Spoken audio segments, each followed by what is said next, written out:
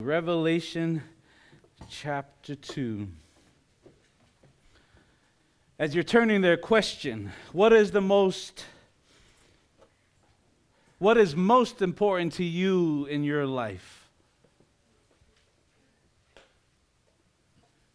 What is the number one on your, uh, your priority list?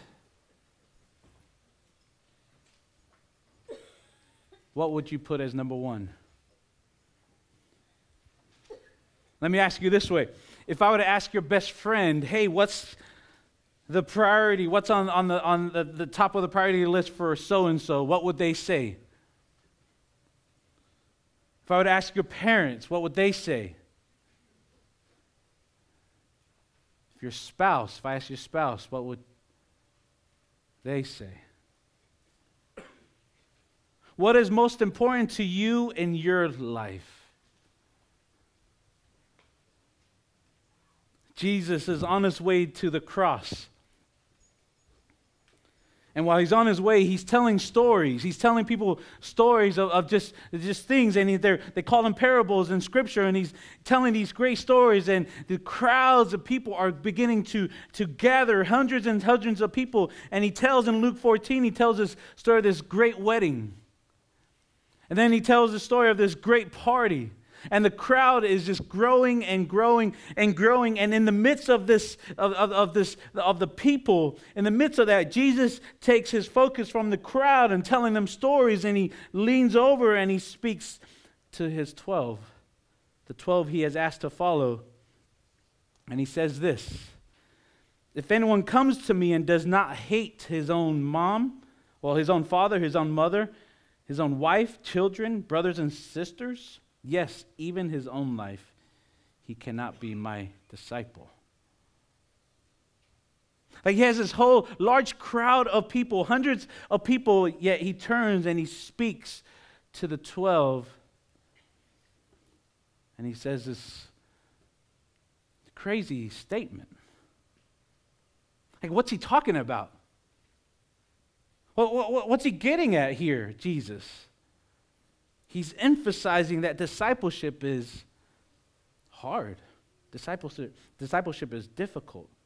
And that in order to, to follow him, Jesus says one must hate his own family, his own life, to be his disciple.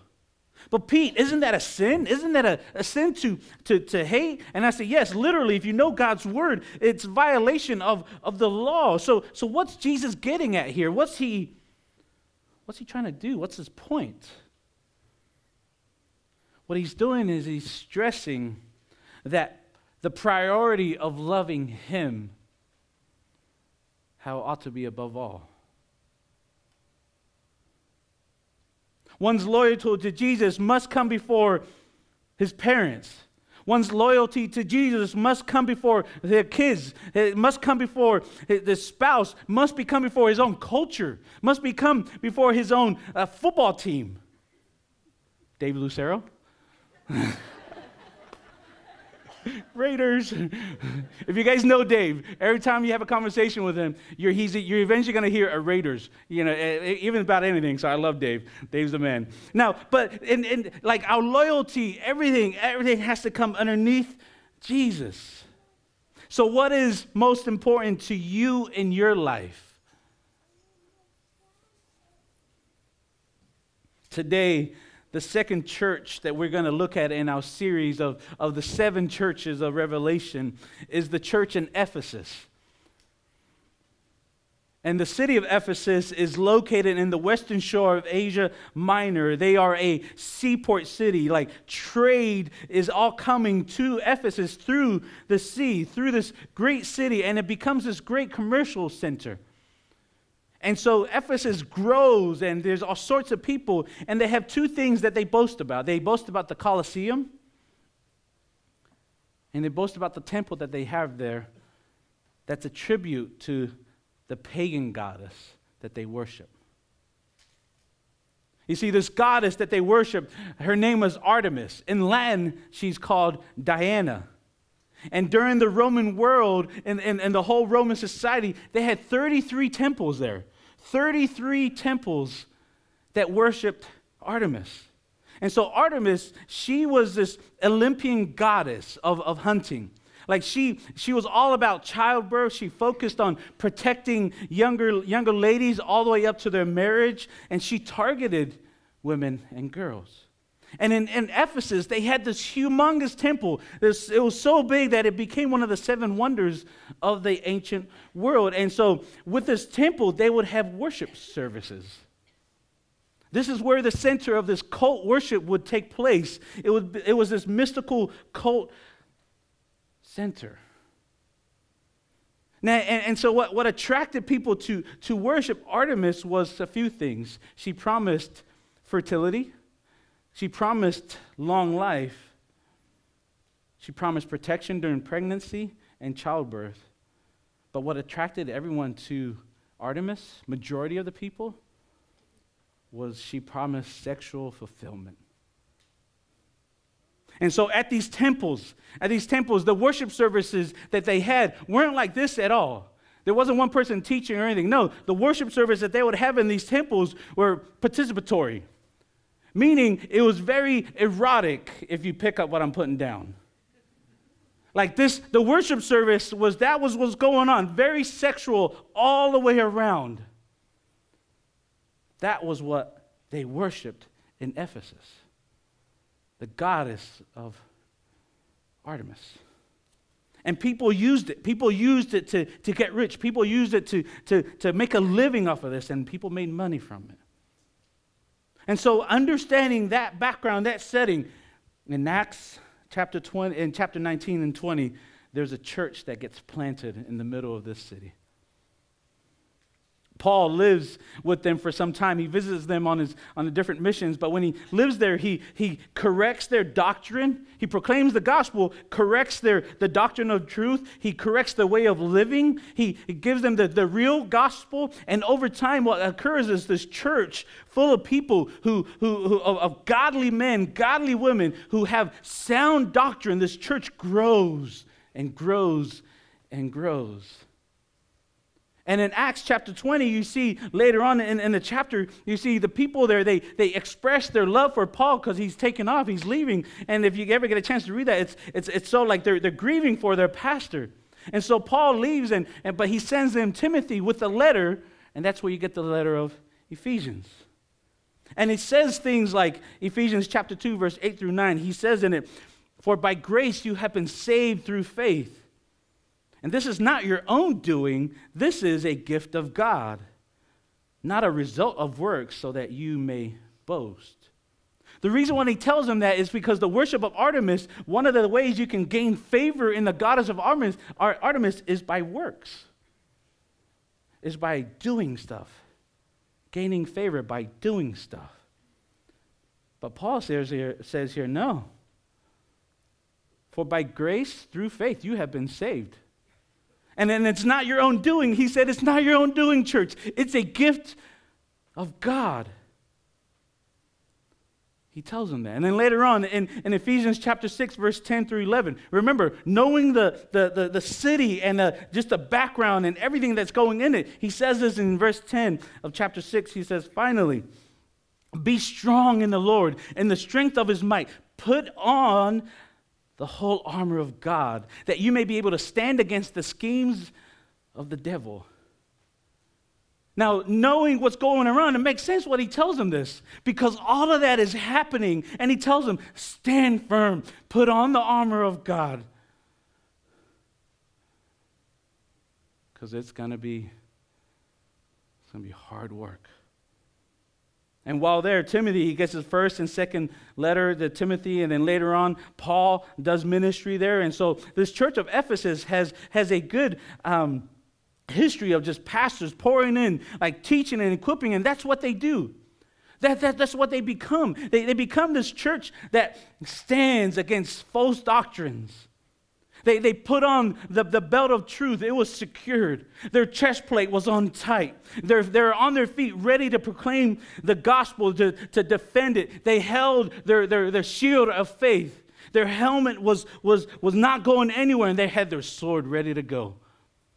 That's who this church became. That's who Ephesus became in the midst of, the, of what's going on in, in, in Ephesus. This church flourished. But something happened. Something down the road changed. This, this great church in Ephesus lost her passion. This great church in Ephesus wasn't so hungry anymore. This great church in, uh, in Ephesus, their desire had shifted. This, the, the, the light was a little bit dim. Something changed. Remember last week, Sardis, our first church we looked at? Sardis was known for being the dead church.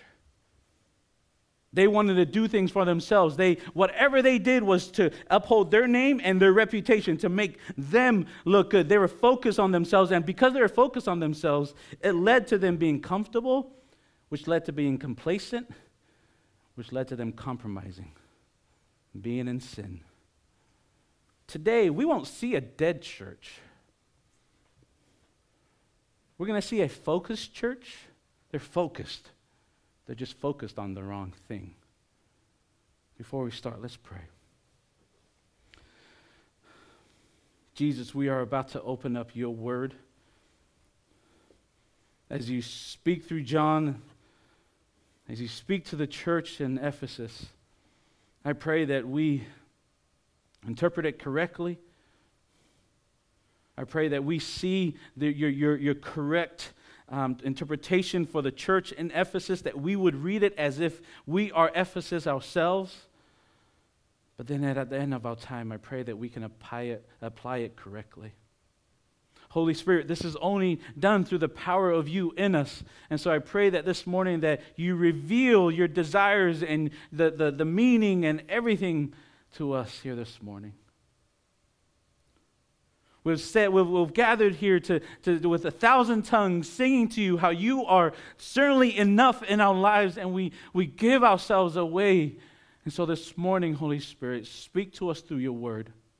Shape us. Cut away the parts that, that, that are not of you, Jesus.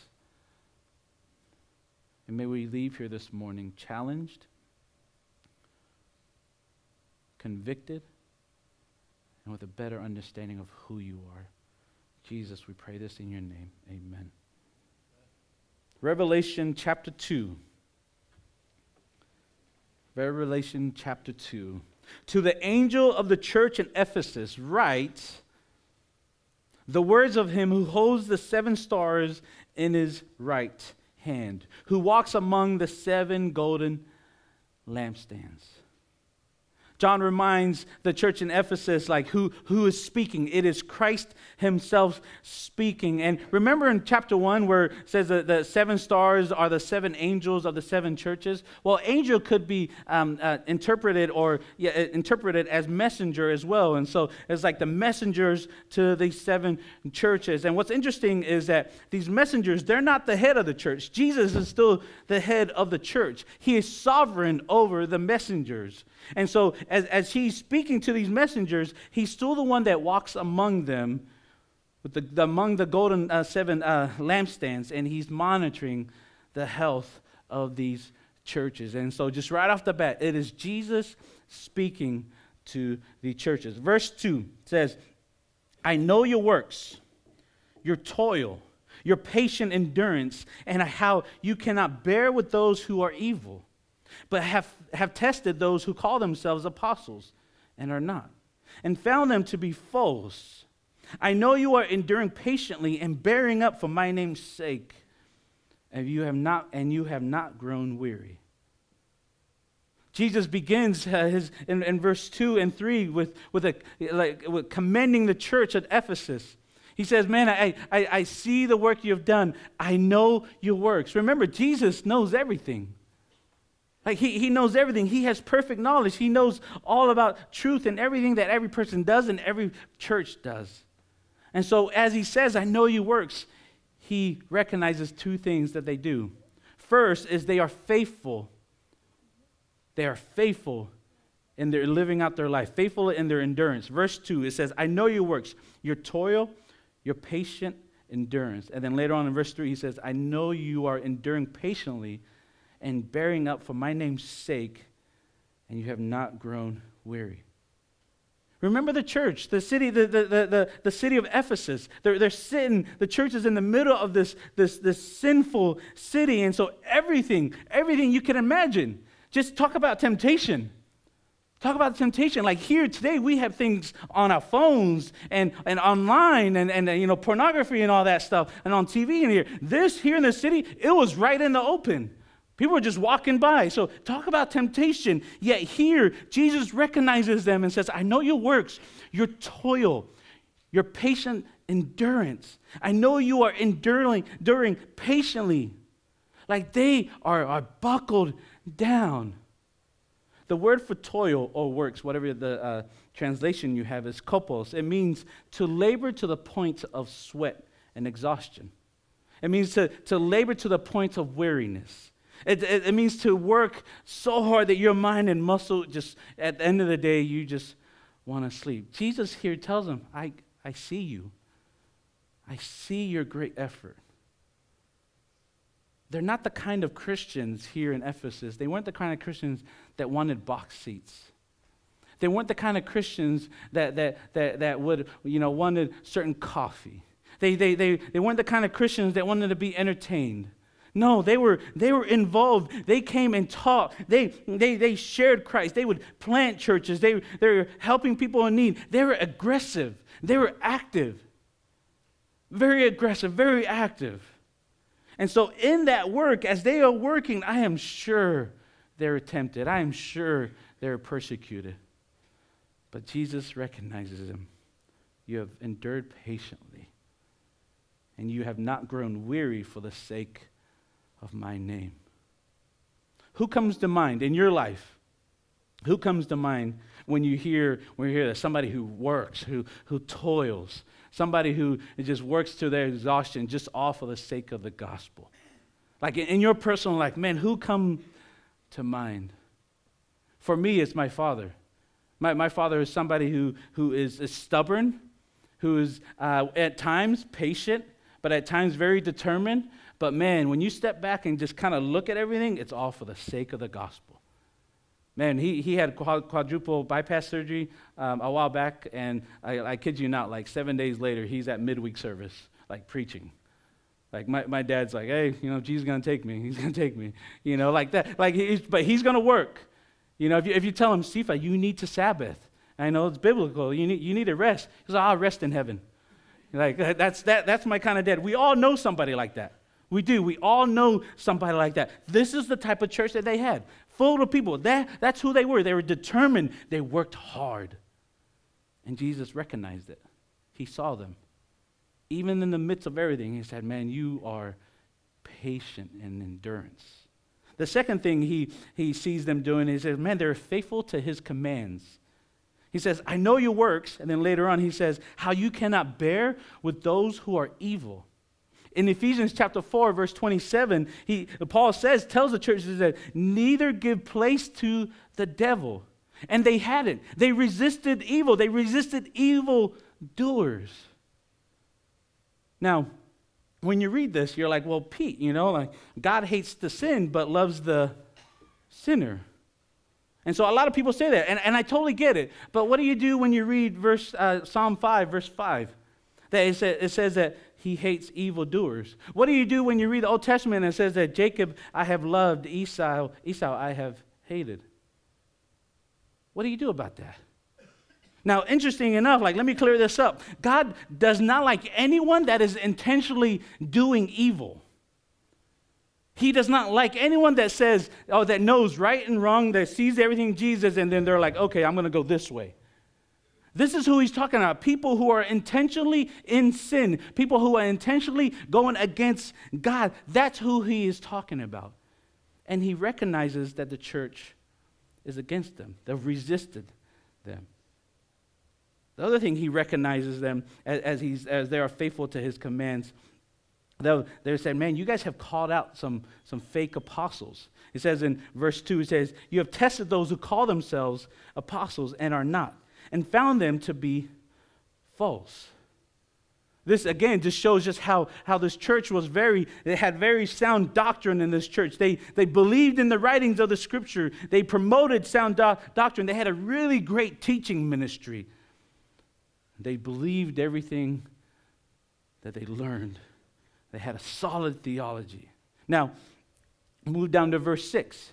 You see here it says in verse 6, it says, This you have. You hate the works of, of the Nicolaitans, which I also hate. So the, Jesus gives them, uh, you know, props for also hating the Nicolaitans. Earlier in, my, in the first service, I said Nickelodeon. I, was, I was going down that road to say, I was like, you, you know, the works of Nickelodeon. And I'm like, no, it's not that. So yeah, just, yeah, thought it was funny. Um, the Nicolaitans, it's, it's interesting. Nobody kind of really knows, but a lot of people lean towards uh, uh, the Nicolaitans come from a guy named Nicholas. If you read Acts chapter 6, you see Nicholas is one of the deacons that were first called a deacon in Acts, in Acts chapter 6. And, and, and they say that Nicholas was a false believer that became a heretic, and, but he still retained influence in the church. And so, what, what these Nicolaitans taught and what they followed was that you can take a little bit of Christianity, you can take a little bit of the world, and that will, that will create this, this, this combination of morality and success. Like you could be a Christian on Sunday, and then the rest of the time, you could be whatever you want, um, and then you, you'll be fine. Like they, they, they believed in the word, but not really, because they added things to the world and they misconstrued things to fit who they are or how they felt that they, they twisted it. And so Jesus commanded them, like, man, like, you guys have done well for not, for not liking this group. I don't like their group. It reminds me of Acts chapter 20, verse 29 through 31. It says, I know that after my departure, this is Paul talking to the church in Ephesus. He's telling them, he says, I know that after my departure, fierce wolves are going to come. They're going to come among you, not sparing the flock. And from among your own selves, they will arise men speaking twisted things to draw away the disciples after them. And then he says this, therefore be alert. And so, what by Jesus says here in Revelation, he says that they were doing just that. They were faithful in guarding the flock and keeping them safe from fierce wolves coming in and not sparing the flock. So here's the church in Ephesus. They are people that worked hard. They endured patiently. They were faithful. They, they kept the standard. They were obedient. They were passionate. However, verse 4 But this I have against you, that you have abandoned the love you had at first. But this I have against you, that you have abandoned the love you had first. That you have abandoned the love you had at first. Something changed. Something changed along the way. Like, I, I don't know exactly what it was or what caused it. I have ideas, but here Jesus says, Man, you have been doing the right things you are doing the right things. You're working hard. You're in the middle of this sinful city. You are enduring through. You're focused at the, the task at hand. You have the correct theology, but you have abandoned your love for me. You have lost your love for me. Who you first loved, you no longer loved first. You see, I think the church in Ephesus had taken their things, their works. And they had taken it, it was supposed to be here under Christ. They have taken it and placed it above Christ. And you and I, maybe, maybe from the outside, we, we see them be like, man, that church, wow, they got all sorts of things going on. You know, they're doing academy, they got a BSF, they're, they're teaching all this stuff. Oh my goodness, they, there are something's going on. But here we see that they were so fixated on those things so focused on those things that they forgot their first love. Last week we saw a dead church, the Sardis church. They were a dead church, meaning they, they, were, they, were, they, they, they were comfortable, which led to them being complacent, which led to them being compromising. And so they were literally in their sin, and all they were doing was focus on themselves. Now, this, this Ephesians church, this church in Ephesus, isn't dead. They had forgotten their first love. They weren't focused on Christ, they were focused on their works. It makes me think of our motivation for things. It makes me think of our motivation for, for, for being the church. Like if our motivation is duty, we say things, oh, I, I, have to go to Bible study. Oh, I, I have to go to church on Sunday. Oh, I, I have to serve. Oh, I, I have to lead people in singing. Oh, I have to do sound. Oh, man, I have to tithe. You know, I have to be kind. I have to love my spouse. You know, like you, you, you say things like that, and, but that's, that's when our motivation is, is, is duty. But what if we thought of it as privilege? What, what, what if we, we, we saw it and understood everything that, and we did everything because of it's a privilege? Like, man, I get to go on Sundays. Man, I cannot wait till, till next Sunday. Can we hang out Monday? Can we hang out Tuesday? Like, man, I get to serve these little monsters, you know, in walkers. Like, I, man, like, like could, could you imagine that? Could, could you imagine? I was like, man, I get to do sound so that people in our church get to sing to our Lord and Savior Jesus Christ man, I get to stand out there and hold a stop sign for the safety of our families and the kids that get to church so they can learn more about Jesus Christ. Like, I get to do this. Oh man, I you, could you imagine the difference? There's there's duty here. Oh, I have to, but then there's devotion. I get to. I remember I was struggling with just moving the two services. You know, after after a while, I was like, man, like, you know, I was saying this, man, like, we have to go to two services. Like we have to go to two services. we have to go to two services, and then, then, then, uh, and then I don't know. Somebody reminded me. I was like, no, we don't have to. We get to. And guys, and, and it's it's it's blowing up. God is like definitely blessing the local church here. And so it's, it, there, there's a difference. There's a duty and there is a devotion. I think Ephesus began in duty and began in devotion, but as time went on, fell into duty. I think of our, our kids. You know, we're, I was just reminded that we, we we're only have up to 50 check ins for our software that we use. And we just got an email saying, hey, you've gone three weeks or four weeks um, going past your 50 check ins. You need to bump up to the next you know, tier. And it's just like, oh my goodness, like we have a whole generation we have a whole generation coming up, and they're, they're going to see us. They see us because one of the things I love about what we're doing here as multi generational, multicultural, multi everything is that we're doing everything together, and they're going to see us. They're going to see us do life together. They're going to see us do Bible studies together. They're going to see us here in Academy. They're going to see us gathering. But man, if they say, Why do you do that? And we're going to say, I don't know, just because I have to, just because I've been doing it, it's just because we've always been doing that. If we say that, we totally miss we rob our next generation of the purpose and the why. As we understand the why, we should be explaining alongside the how why we do what we do.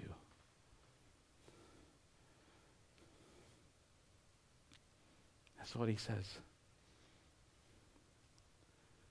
We have a whole generation coming up And when they ask things, why do you have elders?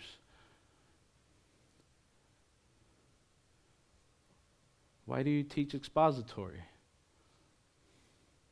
Why do you do dinner with friends? Why, mommy and daddy, why do you give to the church? Why do you give to God? May we know our why. May they know our why so that our generation grows up in a God fearing church, gospel centered church. Jesus commends this church, and they're faithful in their works, faithful in obeying his commands. And in verse 5, he says, Remember, therefore, where you have fallen, repent, do the works you did at first. And so, after commending, after condemning, after, like, after those two things, he gives them a cure. He says three things. First, he says, Remember. remember. In the, the literal original, it's mean, it means to keep on remembering. Like they, they had forgotten who they were. They had forgotten the, the, the position that they had, that they were sinners.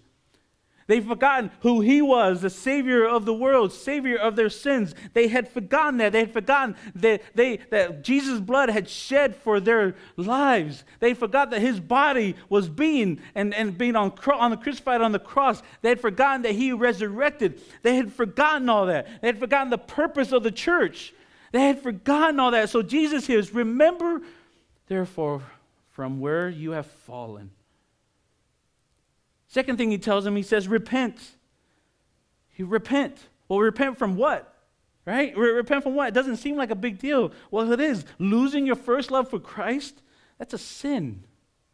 That is a sin. Now, the difference from last week's church is they, they were openly in sin. Here, it's so easy. Come on, man. Like, eh, how many of us here have started off walking with Christ and it was devotion, right? It was like, oh, man, doing all this. Uh, and then by the time, before you know it, it falls into duty. Man, it just happens. I think that's what's happened here at Ephesus. And so he says, repent. Repent. Get on your knees, pray, confess, and ask for forgiveness. And then the third, third thing he does is do the works you did at first. Tells them to return. Return to being devoted to, to His Word because of your love for Christ. Return to breaking bread with each other because of your love for Christ. Return to fellowshipping with one another because of your love for Christ. Return to praying for one another because of your love for Christ. Return to serving one another because of your love for Christ. Return to meeting each other's needs because of your love for Christ. Return to that. Go back to that. And he said, so he simply put, he put remember, repent, return. Remember from where you've fallen, repent your sins, confess and turn, and return back to doing what you're doing because of the love of Christ. And then he says in verse 5, the last part of verse 5, he says, If not, I will come to you and remove your lampstand from its place unless you repent. Some translations put or else. And you read this and you're like, if not, or, or else, I will come to you. He's not talking about a second coming. Nah, he, he says,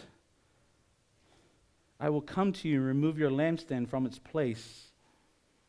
What he's talking about is removing away your lampstand. Remember, the, the, the, the, church in Ephesus is this great church. They have this great ministry. Everything, people are, are, are, are understanding, you know, just knowledge and have this great doctrine. But he says, if, if you do not change, if you do not repent, you are going to have nothing. You are going to be nothing. I am going to come and it's over. I'm going to remove your lampstand. Remember what the lampstand re- uh, represents in chapter 1? The lampstand is the church. So is Jesus saying what I think he's saying? That he is going to take away the church? That the church will be gone? The church will be terminated? Yeah. Verse 7. He says, he who has an ear, let him hear the, what the Spirit says to the churches. This was the message meant for Ephesus, but as we go through it today, it's very evident it's also meant for us today. And so it would be wise if we, as individuals, but holistically, as a community, as a church, that we would learn from this. And the last part of verse 7, it says, To the one who conquers, I will grant to eat of the tree of life, which is in the paradise of God. Christ gives the church a promise. He said, Those who, who overcome this, those who endure, those who, who push through, those who finish the race, they would, they, they would eat of this tree. This tree of life. If, in Genesis is mentioned in chapter 3, and it's also mentioned later on in Revelation chapter 22. It's this, this, this fruit of life, and you, if you eat of it, you'll never die because you'll be in paradise with God, which is heaven. And so there's this encouragement at the end to be reminded of the benefits of what will occur in the future, of, of God's gracious provision for, for salvation at that very moment. Remember, remember, remember, but then also eternity, what is to come. And this is the letter of, of Jesus Christ to Ephesus. So, my question for us here today what is the most important to you in your life? What is the most important to you in your life? Is it Jesus? Or is it the idea or the things, the benefits of Jesus? The benefits of, oh, I get to do community with one another. That you love community more than Jesus. What is more important to you in your life? If you're a believer here tonight, or today, and you just kind of find yourself like, man, the light's been dim a little bit. Man, I'm just, the zeal's not there. If you're a believer, I want to encourage you to remember, repent, and return. Just as Christ uh, told the church in Ephesus, that is going to be the same, and it's enough for us we don't need any other application. We, need, we don't need any other challenge. But if, you're a believer of Jesus Christ and you're finding yourself like, man, Pete, Jesus has not been number one in my life. I get it. I'm right there with you. I'm right there with you. And so remember, remember what he has done. Re, uh, repent and return. Repent and return. Remember, repent and return. And so this next week, you don't, you don't start things like, oh man, I, I got to do this. No, you start with like, man, I, I, I get to love my coworker who hates Jesus. Like, oh man, I, I, I, get to I get to go home and, and love on my kids.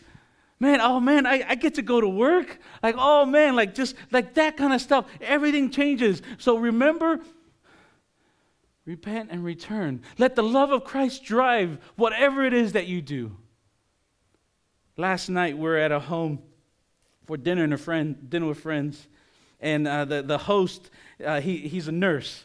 And uh, man, it was, uh, I loved being there amazing time, amazing guy. And he's just sitting there, and, and one of the other guests, they're a nurse as well. And, and you know, be like, hey, what, what kind of nurse are you? And, and he was like, well, you know, I'm, I'm a nurse here. And, and I don't know exactly the name of the location where he's a nurse, but I do know this that the people that he, he, oh, that he, the clients, the people that are there are, are on the rough edges. They're, they're, they're mentally, you know, like challenged and like hardcore people. And, and so, and one of the nurses, the other nurses said, hey, so do you like it there? Cause and you could tell, like, and he was like, No, I, I, don't like it. I love it. And then the rest of the night, he, he goes on, and, and just, it's just, you can tell when he talked about his job and what he did for work and who he got to talk with, when he talked about that, he lit up. Like it's almost like he sat up out of his chair and he was like, Pete, man, like, man, it's so good. Like, I'm like, you know, we went to Rome in, in December and, and we're just, you know, the Vatican and all that. But man, but Jesus, man, like Jesus is like, he was like, I feel it, like I own it, like it's my faith. And he was like, at work, like I tell people, like it just it just comes out and I, I tell people about Jesus, and it's just and you can see like him lighting up, and it's all because of his love, his first love for Jesus. And so, in the, in the moment where, in the time where he is in this place where people are, are just very challenged and stuff, he tells people about Jesus. And he said last night, he was like, man, there was, there was a time where I, I told him, like, dude, like, you know, Jesus, you need to get connected to the church. And he told us that that, that person's demeanor and everything just changed. Like he even told him, it was like, you know, he told him, hey, you need to get connected to the church. He was like, man, like I got nowhere to go. Like I'm homeless. He was like, I, I don't care. Be homeless next to a church. Like, like, like that's how the zeal behind him. And I'm like, yes, that's it. That's it. Imagine if we were all that way. The truth is, is we're not. But that's why we have community. That's why we have each other. So that we can encourage, we can spur on, we can pray for one another. Could you imagine us doing that. If you are a believer in Jesus Christ, take, take this next song as we sing. Ask God to guide you to be His light in your world. Remember, repent, and return. If you're not a believer, guys, I, I want to encourage you. I want you to know that you are a sinner. But just like all of us, you are a sinner, I am a sinner. And if you, if you don't understand the gospel, I, I hope you heard it today. I, I, want you to know that as a sinner, you are in need of a Savior. Somebody to save your soul, that somebody to, that, that would pay the price of your sins, somebody that, that would do that for you. And I want you to know that nobody here, nobody here could do it for you. I want you to know that there's nothing you can ever do that would ever be enough that would pay your sin. It's only Jesus Christ that could do that. And so if you are not a believer, or maybe you have been around church for, for a while and you're just like, oh, it makes sense. Like, I totally understand the gospel. If that's you, maybe, like, great. Don't feel embarrassed about anything. No. If you're embarrassed about Pete, you don't know what I've done. I say, I don't. But I do know what he's done. And it will pay for anything you have done. Anything. There's nothing you can do that he would say, oh, never mind, my, the cross and death, burial, and resurrection is not for you. No. There's nothing you could ever do that he would say that to you. Place your faith in Jesus Christ. He is your Savior. He has a life promised for you that is full. It's just going to cost you your life.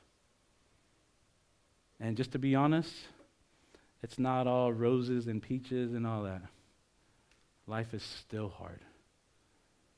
But the difference is, is now that we have a hope in Jesus Christ.